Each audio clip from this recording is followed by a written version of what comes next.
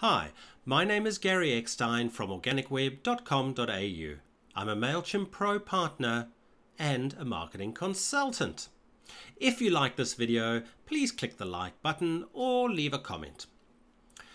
We're going to cover in this short video how to correct text issues in MailChimp.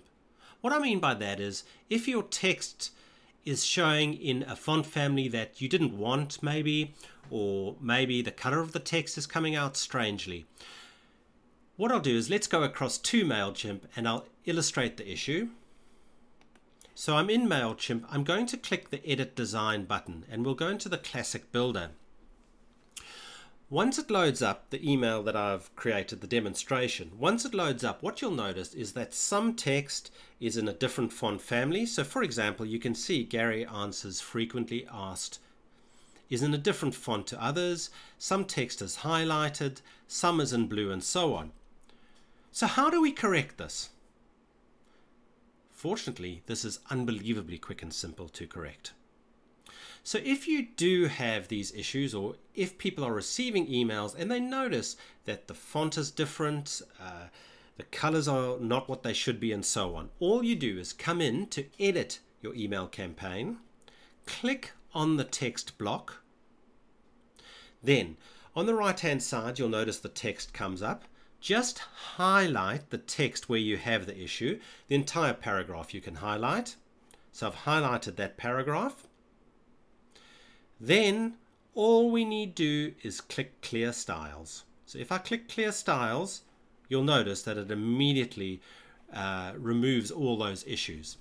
What's actually happening in the background is, or, or the reason that that was occurring, the funny color and so on, is often it's because people have pasted from Word, but there might be other, from Microsoft Word, but there might be other instances that that happens.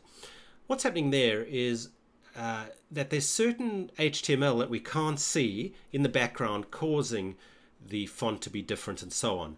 By highlighting our text, so again we click on that text block, we highlight the text, and by clicking clear styles we remove all that superfluous or the incorrect uh, HTML in the background. Everything looks okay again and we're good to go. One more time, all we've done is we've come into the actual email we're going to send. We click on the text block, the problematic text block. We highlight the paragraph of text where we do have the issues, and all we did was we clicked clear styles. That's it. And that's how simple it is to correct an email where there are issues with the text displaying not as we really want. Now, if you like this video again, please click the like, uh, the like button or leave a comment. Or if you want me to cover another topic in MailChimp, please leave a comment uh, underneath this video. But I'm Gary Eckstein from organicweb.com.au and thank you for joining me.